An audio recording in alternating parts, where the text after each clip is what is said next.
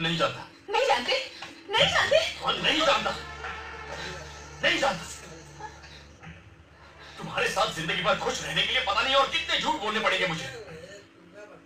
मेरी आदत है मेरे दोस्त मेरी हॉबीज पता नहीं और क्या क्या सैक्रिफाइस करना पड़ेगा। अब ऐसी है तो फ्यूचर में कैसी होगी मेरी लाइफ